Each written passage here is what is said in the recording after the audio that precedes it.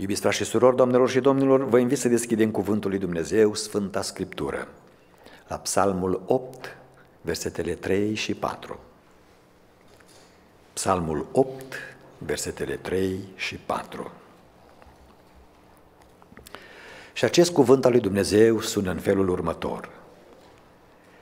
Când privesc cerurile, lucrarea mâinilor tale, luna și stelele pe care le-ai făcut, îmi zic, ce este omul ca să te gândești la el și fiul omului ca să-l bagi în seamă.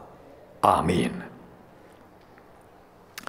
Iubiți frați și surori, doamnelor și domnilor, în cadrul acestui seminar special, mari întrebări biblice, astăzi și apoi joia viitoare aici la Emanuel, ne vom opri asupra unei întrebări adânci.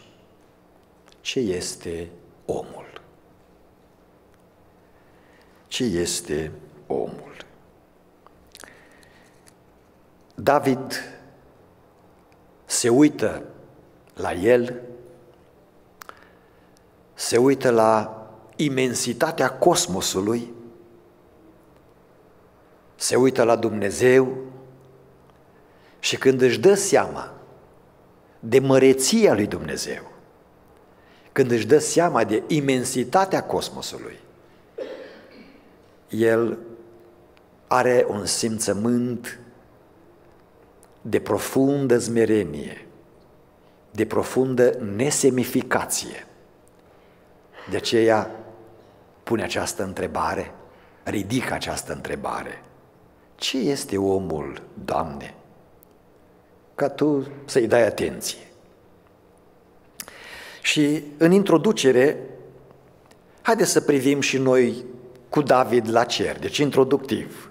Pentru că așa spune el, când privesc cerurile, lucrarea mâinilor tale, luna și stelele pe care le-ai făcut, Permiteți-mi cu zmerenie să vă dau câteva detalii despre ce se cunoaște la ora actuală despre cer. De exemplu, când nava spațială Voyager numărul 2 a ajuns în dreptul planetei Neptun și a început să transmită imagini ale acestei planete mai de aproape, și imaginile vin cu viteza luminii, 186 de mii de mile pe secundă. Deci lumina călătorește cu 186 de mii de mile pe secundă. Când nava Voyager, numărul 2, a transmis imaginile de pe Neptun, au trebuit patru ore ca imaginele să ajungă jos pe pământ și să poată să fie recepționate. Patru ore la viteza de 186 de mii de mile pe secundă. În cosmos sunt estimate peste 100 de miliarde de galaxii. O galaxie este un sistem de stele sub formă de conglomerat format din planete, stele, nove și supernove, care novele și supernovele sunt stele care și-au consumat energia, soarele, de exemplu, se estimează că în aproximativ 2-3 uh, miliarde de ani, deci încolo dacă mai arde soarele, își termină energia, uh, hidrogenul care arde în interiorul lui și îl face să lumineze și soarele va deveni o novă, o supernova, o gaură neagră, uh, o stea moartă. Deci, în galac- o galaxie este un sistem de stele, planete, nove și supernove. Într-o galaxie sunt peste 100 de miliarde de stele, adică de sori. Și fiecare sistem solar, noi suntem în sistemul nostru solar, acest sistem solar în care noi suntem este Soarele și nouă planete. Și cât este de vast.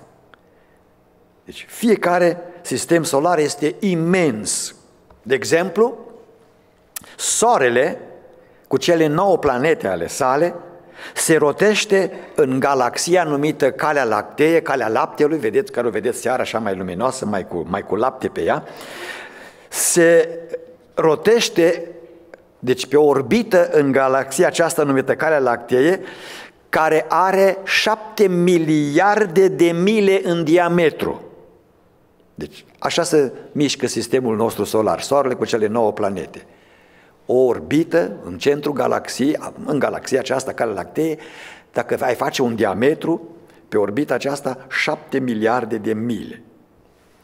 Calea lactee, ca să fie străbătută de la un capăt la altul, cu viteza luminii, la 186 de mii de mile pe secundă, trebuie să se călătorească 100 de mii de ani lumină.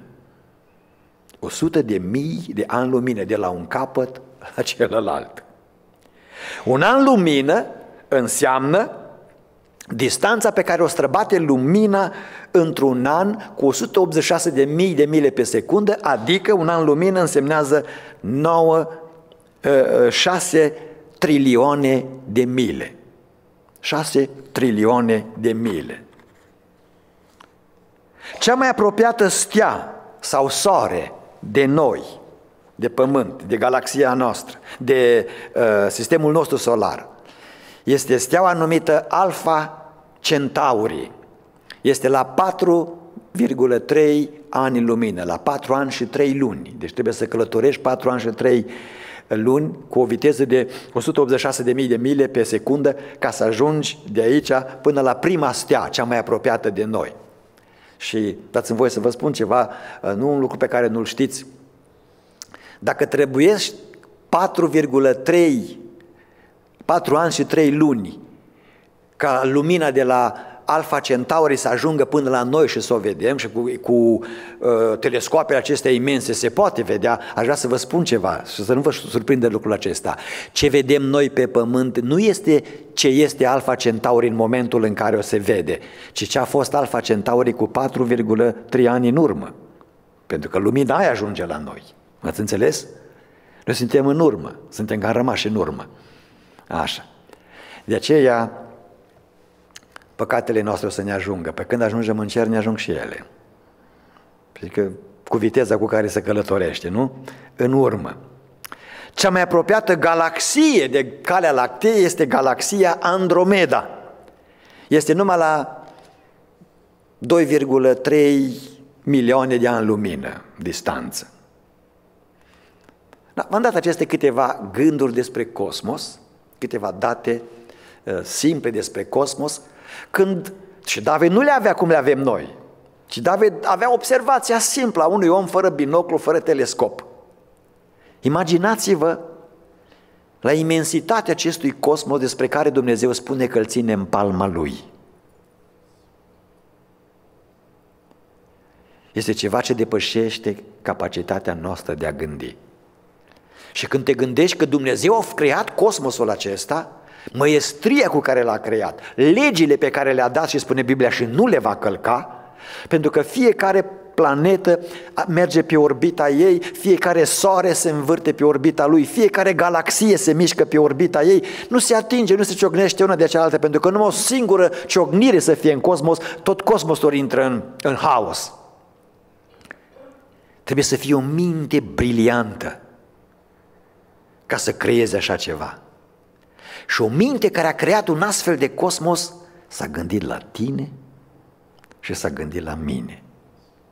Este pe drept cuvânt îndreptățit David să zică, Doamne, dar ce este omul să te gândești la el? Tu care ești infinit în înțelepciune, infinit în putere. Vorbim de distanțe imense, de planete, despre, de soare, de stele, de nove, de supernove, de galaxii pe care încă nu le putem descrie. Ați văzut probabil aceste imagini la televiziune de pe Hubble telescop. Coloritul acela extraordinar, imaginile acelea. Și acelea sunt imagini de poate cine știe câte milioane de ani care au ajuns acum numai la, la noi să poată să fie fotografiate. Este glorios Dumnezeul nostru este glorios. E acest Dumnezeu glorios s-a gândit să se gândească și la mine, s-a gândit să se gândească și la tine. Și în această seară, la această întrebare, ce este omul, aș vrea să, în prima parte, să încerc cât de simplu se poate să răspundem la această întrebare dintr-o perspectivă științifică și biblică. Pentru ca apoi, în seminarul care va urma, să răspundem la această întrebare din perspectiva strictă a lui Dumnezeu, a Sfintelor Scripturi. Deci, în primul rând, ce este omul? Originea lui. Originea omului. Ca să putem răspunde la această întrebare, ce este omul? Inteligența ta și inteligența mea, mintea ta și mintea mea, sunt astăzi, în principiu, asaltate de două explicații. Prima, omul este corona evoluției. Omul este corona evoluției. Charles Darwin este considerat părintele teoriei evoluției. Însă înainte de Darwin, care și-a publicat lucrarea sa Originea speciilor în 1859, înainte de Darwin, au fost oameni care au gândit ca și el și au scris cărți și idei de felul cum ar fi evoluat viața. De exemplu, în Antichitate, Tales din Milet, Anaximenes, Epicurus, Lucretius. În perioada renașterii și a reformei, deci în evul mediu, în Europa, este Francis Bacon, 1561-1622,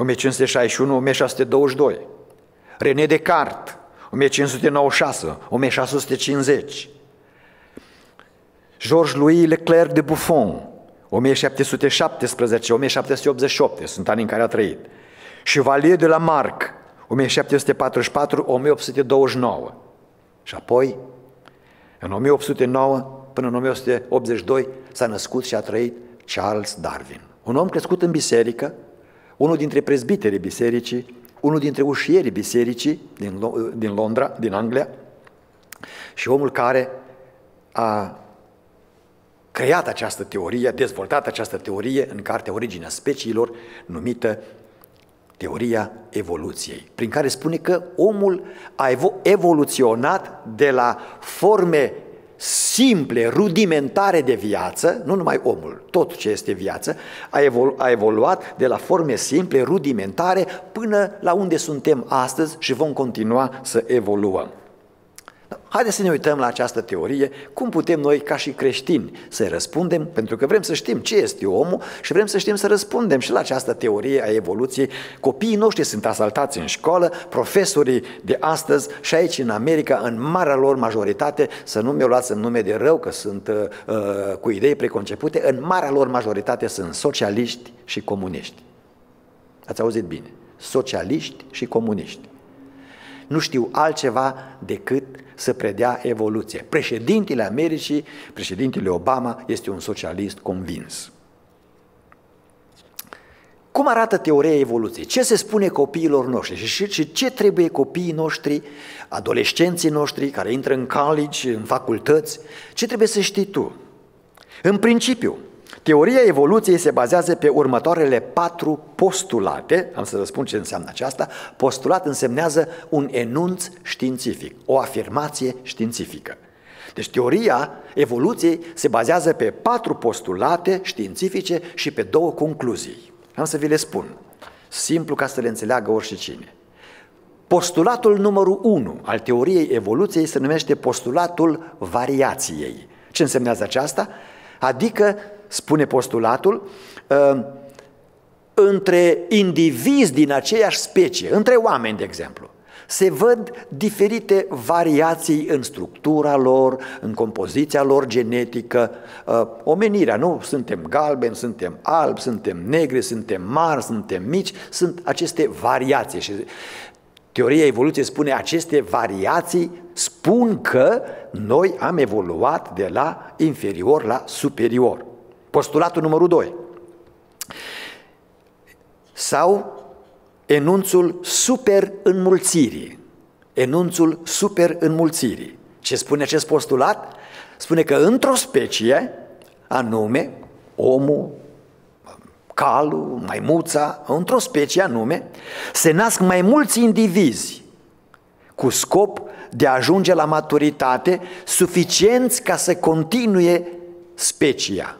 Deci dacă oamenii se înmulțesc, dacă animale se înmulțesc, se înmulțesc pentru acest scop, să se continue specia și în general se nasc mai mulți decât ar trebui ca să se permită continuarea speciei. Concluzia numărul unu de la aceste două postulate este aceasta, că în viață vom asista la lupta pentru supraviețuire. La lupta pentru supraviețuire. Adică, uh, dacă vrei să supraviețuiești, fie în mediul animal, fie în, în, în mediul uman, trebuie să te lupți pentru supraviețuire. Postulatul numărul 3 este cel cu supraviețuirea celui mai tare. În engleză, the survival of the fittest. În lupta pentru supraviețuire, cei slabi sunt eliminați. Probabil în sistemul politic, dar nu între oameni cu bun simț.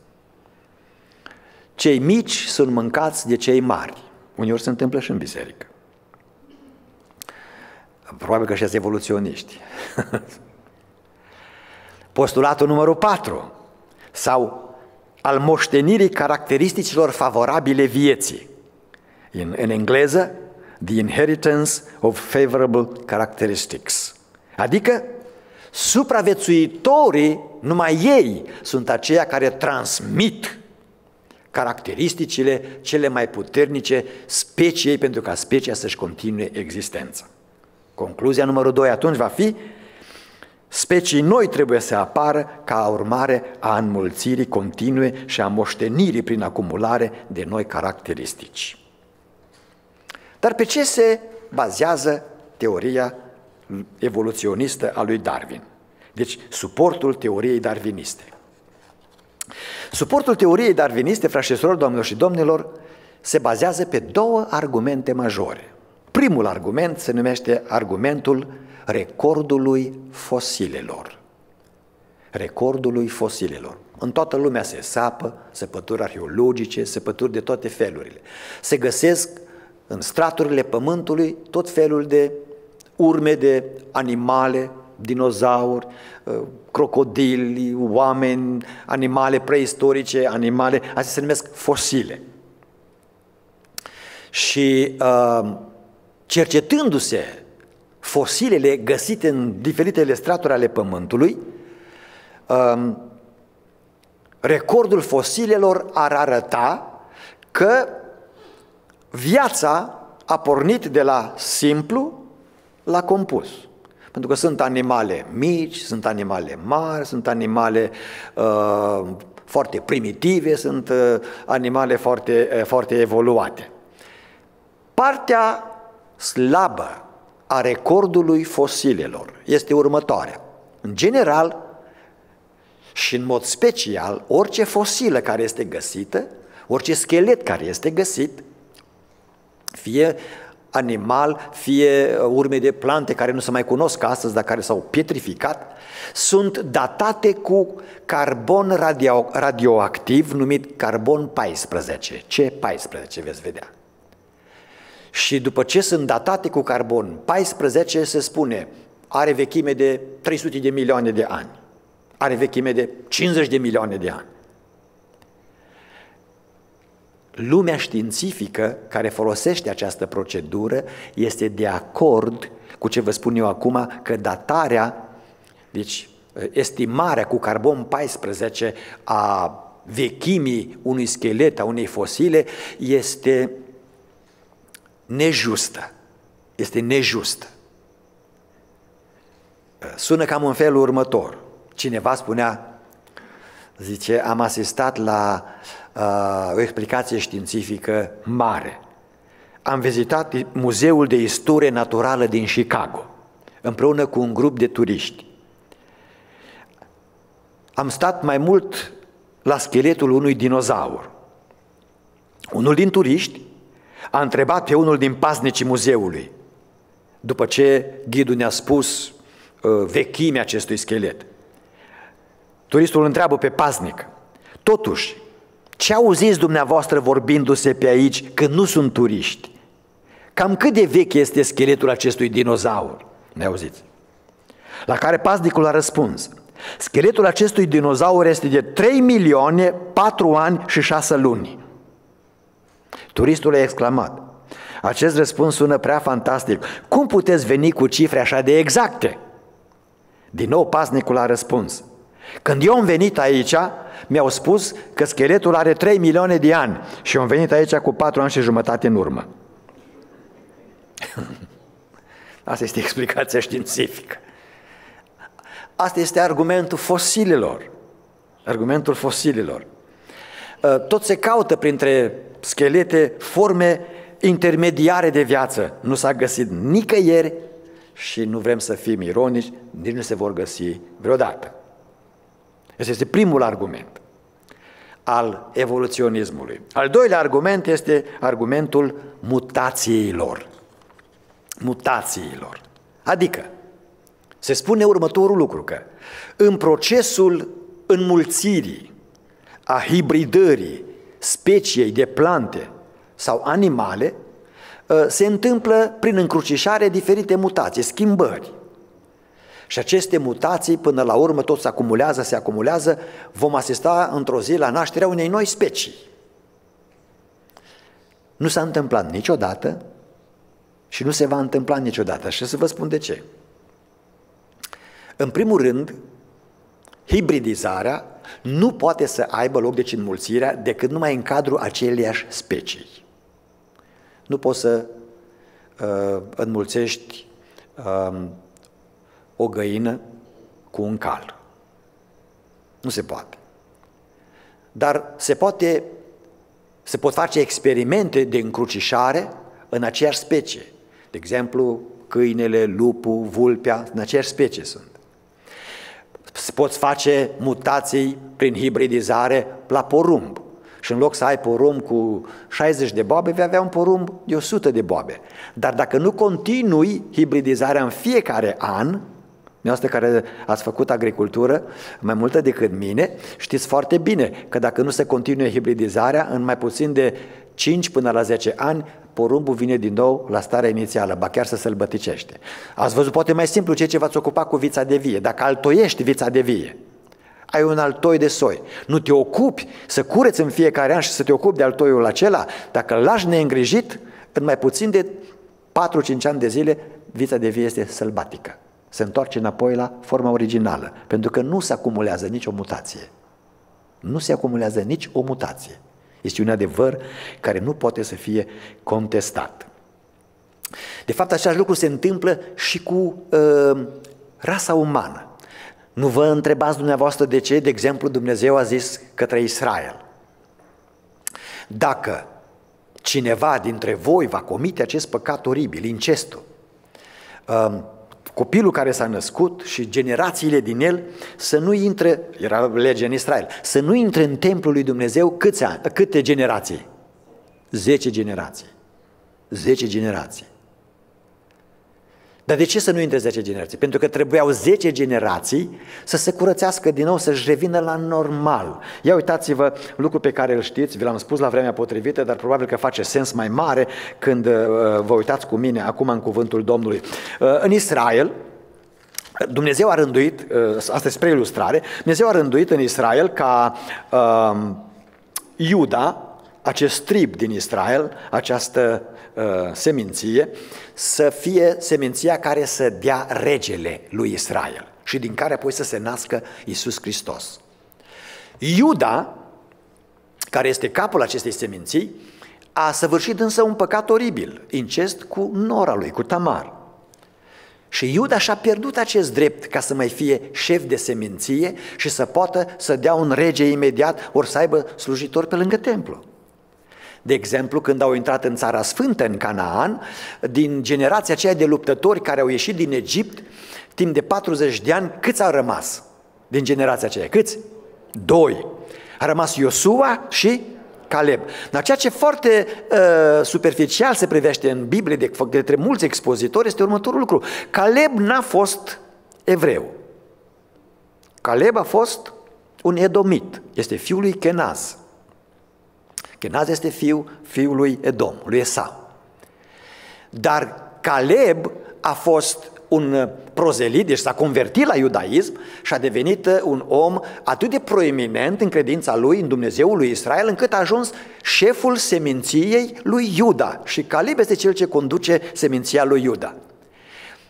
A venit timpul și lui Israel a trecut prin minte într-o zi, vă aduceți aminte din istoria biblică și istoria, dacă vă uitați, ne trebuie și nouă împărat să fim ca toți împărații. Să fim ca toți împărații, ca toate neamurile, să avem împărat. Și pe cine au pus împărat? Pe Saul. Pe Saul. N-au putut să pună din Iuda pentru că Iuda încă nu putea să dea un împărat. Uitați-vă cu mine în Scriptură, uh, nu știu dacă uh, avem posibilitatea, este posibilitatea să puneți pe ecran ceva? Nu aveți, că nu aveți ajutoare, ok. Vă spun de unde, de unde este citit și, cum să, și ascultați-mă pe mine ca să vă citesc. Dacă deschideți Scriptura la Rut, capitolul 4, versetele 18 la 22, aici sunt date uh, uh, urmașii care au dus la nașterea împăratului lui Israel, a dinastiei regale israelite. Iată seminția lui Pereț. Deci, cine s-a născut din Tamar și din Iuda, cine s-a născut? Pereț. Pereț a fost tatălui Hețron, 2. Hețron a fost tatălui Ram, 3. Ram a fost tatălui Aminadab, 4. Aminadab a fost tatălui Nachshon, 5. Nachshon a fost tatălui Salmon, 6. Salmon a fost tatălui Boaz, 7. Boaz a fost tatălui Obed, 8. Obed a fost tatăl lui Isai, 9. Și când au pus ei împărat, în a noua generație, pe Saul. N-au avut răbdare o generație. Care este a zecea generație? Isaia a fost tatăl lui David. Tatălui David, al zecelea. Trebuiau zece generații pentru ca să se ajungă din nou la starea originală. Dar nu că s-au făcut mutații și să se nască um, o altă specie de oameni. Mutațiile care s-au făcut au fost mai mult de ordin uh,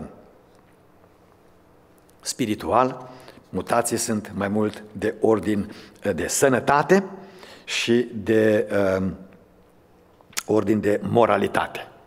De aceea, frați și surori, doamnelor și domnilor, uh, mutațiile despre care vorbește teoria evoluției ca argument sunt inexistente. Imposibilitatea teoriei evoluției. De ce nu este posibilă originea omului după teoria evoluției, că a evoluat din uh, vierme și a ajuns maimuță și în sfârșit a ajuns om. De ce? Deși teoria evoluției este foarte la modă și pare științifică și uh, ea este la modă, știți de ce? Pentru că este anti-Dumnezeu. De ce este la modă? Și tot ce este anti-Dumnezeu este la modă. Însă, Teoria evoluției este imposibilă din uh, mai multe argumente și am să vă dau două argumente care sunt la îndemâna fiecare dintre noi să le înțelegeți. Primul argument este din lumea fizică și se numește întâia lege a termodinamicii. Întâia lege a termodinamicii. Sunt două legi ale termodinamicii, legea întâi și legea a doua. Lumea științifică de pretutindeni este de acord și este unanimă că aceste două legi, prima și a doua lege a termodinamicii, sunt legi absolute în univers. Ce spune legea întâi a termodinamicii? Legea întâi a termodinamicii spune următorul lucru. Orice corp fizic din univers, orice corp fizic, are în el o energie oarecare.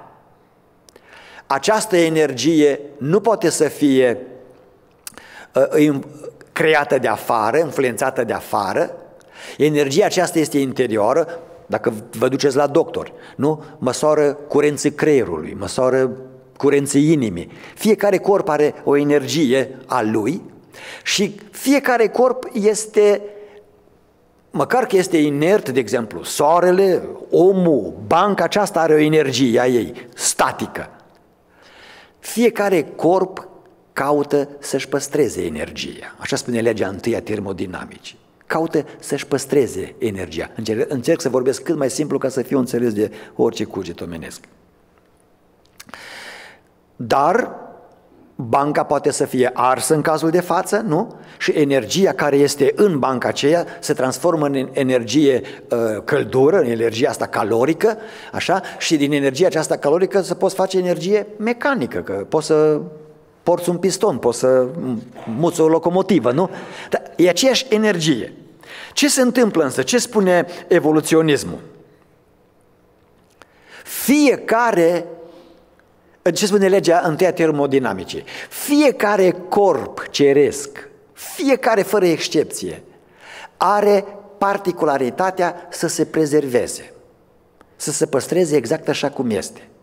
Ei, dacă asta este întâia legea termodinamicii, frați și surori, doamnelor și domnilor, atunci nu se poate evolua nimic. Toate stau și se prezervează. Pentru că este în fiecare corp din univers tendința aceasta să se păstreze exact așa cum este. De exemplu, astrofizicianul ateist Isaac Asimov a trăit între 1920-1992.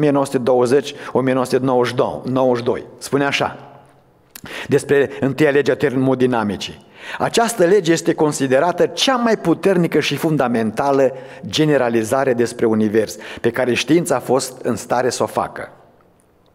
Iar Einstein, cel mai mare savant al tuturor timpurilor, spune așa, termodinamica este singura teorie despre fizica Universului, teorie despre care sunt convins că având în vedere aplicabilitatea ei, adică toate corpurile au o energie în ele și încearcă să-și o păstreze, nu să-și o schimbe, așa, aceasta nu va fi răsturnată niciodată. Deci dacă nu schimbă energia, dacă nu schimbă structura, nu există evoluție. A doua lege a termodinamicii se mai numește și legea entropiei, spune următorul lucru. Dacă toate corpurile în univers au în ele o energie oarecare pe care fie că sunt corpuri cu viață, fie că sunt corpuri fără viață, au tendința să o păstreze, să rămână așa. Legea adevărată este următoarea. Orice corp din univers se degradează. Se degradează. Dacă lumea științifică spune că soarele nostru se va răci peste un miliard de ani, două miliarde, trei miliarde de ani, pentru că nu va mai avea combustibil, energie în el, însemnează că se degradează. Frați și surori, doamnelor și domnilor, dacă se degradează, nu evoluează. Simplu, nu? Nu trebuiește uh, uh, teorii multe. Nu evoluează. Prin urmare, prin urmare, teoria aceasta a evoluției care spune omul este corona evoluției poate să fie uh, anulată tocmai prin cele mai demonstrabile legi care există în natură. Și apoi, încă două, trei adevăruri despre evoluționiști.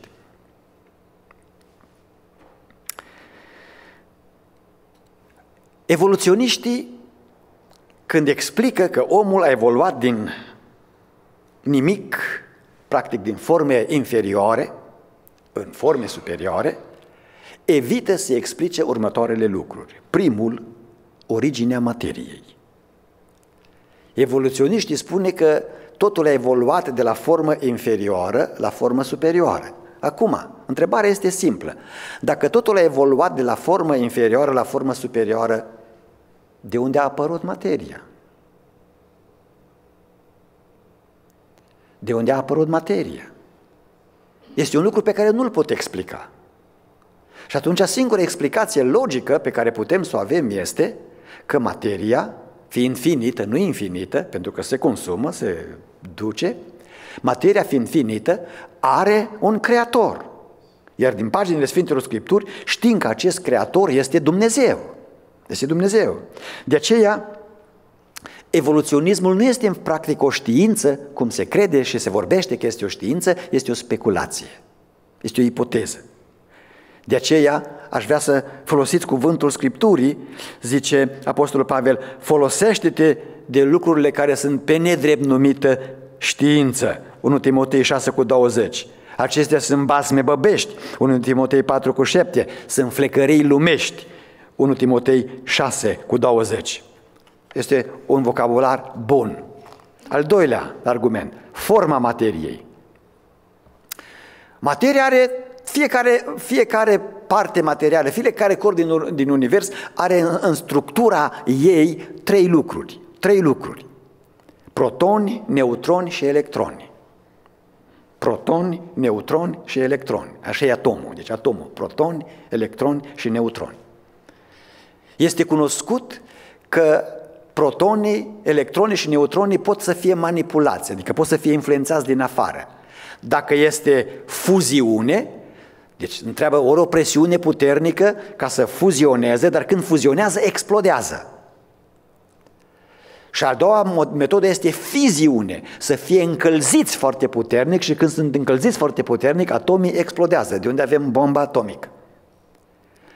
Frați și surori, doamnelor și domnilor, dacă materia are această structură, protoni, neutroni și electroni, și nu pot fi nici fuzionați, nici fizionați pentru că li se strică compoziția, nici evoluție nu există. Deci evoluție nu există. Și apoi este al treilea argument despre apariția vieții propriu-zise. Modelul evoluționist spune că viața a apărut în trei trepte. Treapta întâi, notați, spune că originea bioorganică care stă la baza vieții sunt glucidele și aminoacizii. Este în forma neorganică a materiei, adică în apă, în hidrogen, în amoniu, în bioxid de carbon, în metan. Ca bioorganicul să se producă, este nevoie de condiții speciale și de un mediu special. Și atunci urmează treapta a doua.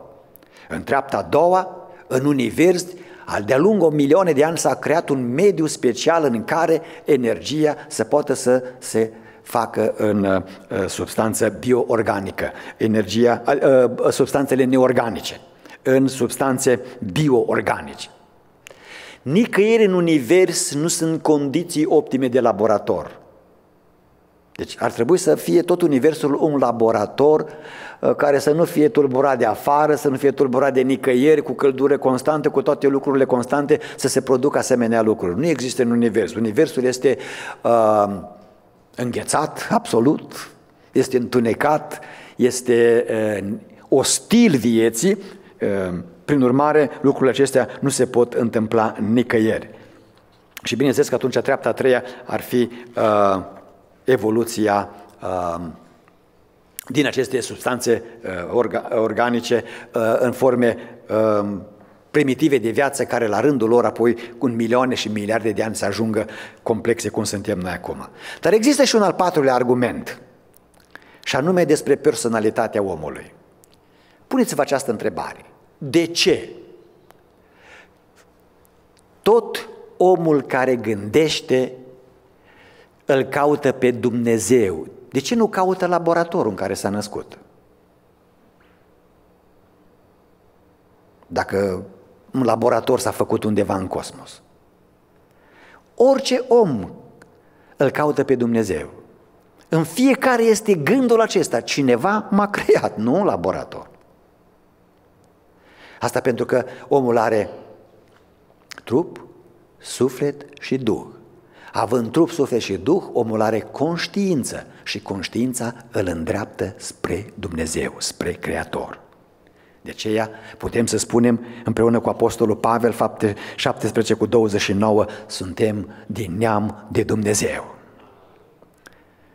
Și apoi, introduc, introductiv, în seara aceasta, omul este nu numai, nu corona evoluției, omul este corona creației. Dumnezeu l-a creat pe om. Geneza 1 cu 26. Apoi Dumnezeu a zis să facem om. L-a făcut din lut. Geneza 2 cu 7. Domnul a, Dumnezeu a făcut pe om din țărâna pământului.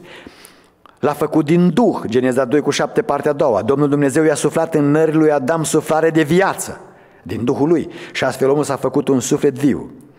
Astfel, omul este singurul din creație care dispune de parte materială, dar dispune și de parte spirituală. El este superior animalelor, pentru că are suflet, Geneza 2 cu 7, are voință, conștiință și sentimente. Are o conștiință care îl apropie de Dumnezeu și care îl obligă să fie respectos față de semenul lui. Este inferior îngerilor prin faptul că are un trup material, Evrei 2, 6 la 7, însă omul este singurul din creație care are un reprezentant permanent ca el în cer la Dumnezeu. Pe cine? Pe Iisus Hristos, care s-a dus la cer cu un trup ca al nostru. De aceea, frați și surori, doamnelor și domnilor, uh, potrivit cuvântului Dumnezeu, omul și în special biserica, în special biserica, uh, va avea această uh, cinste și acest har alături de Isus Hristos, mirele ei, alături de Tatăl Ceresc și alături de Duhul Sfânt să stea pe același scaun de domnie pentru întreaga eternitate, cum spune Apocalips 3 cu 21. Dumnezeu a dat atenție specială omului. L-a făcut după chipul său.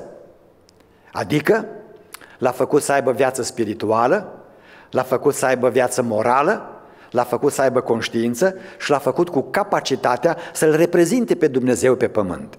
În vechime, când un nou împărat ajungea la putere, în Imperiul Roman, de exemplu, când un nou cezar să urca pe tron, imediat slujitorii lui puneau și fie că îi turnau din bronz statuia, fie că îi ciopleau, ciopleau din pietre. Și statuia noului cezar era pusă în toate colțurile împărăției.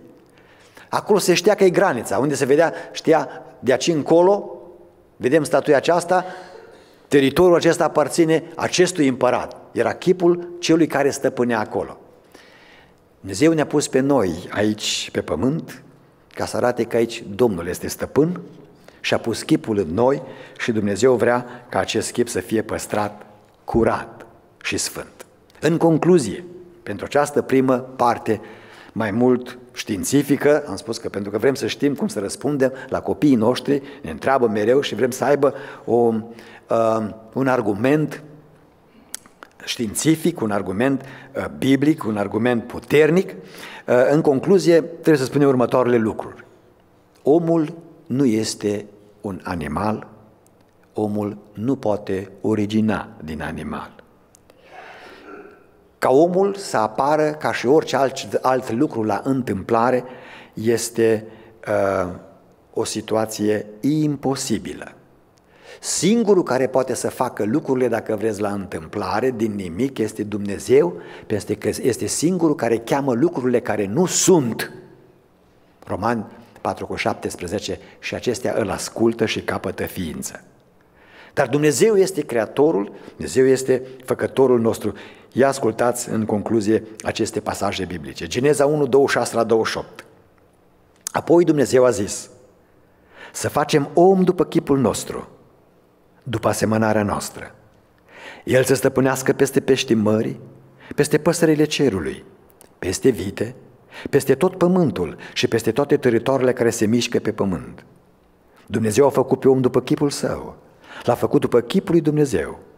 Parte bărbătească și parte femeiască i-a făcut.